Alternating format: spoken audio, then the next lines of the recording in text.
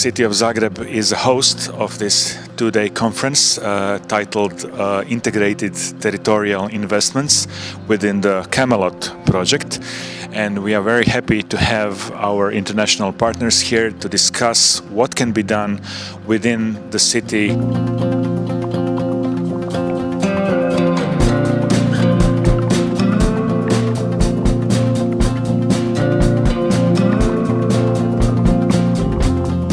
Are here in Zagreb to share good practice with of colleagues of the different uh, metropolitan area in, in Europe and it's an important moment for us for for take advantage of the capacity of investment to transform our metropolitan areas in Europe.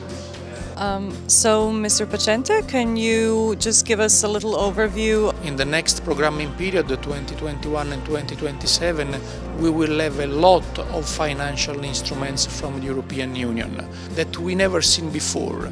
So I think that the big challenge for us is to implement, is to invest in a good way this total amount. We have to demonstrate our technical financial capacity because we could uh, become uh, in conclusion a managing authority or an intermediate body for the instruments of the European Union.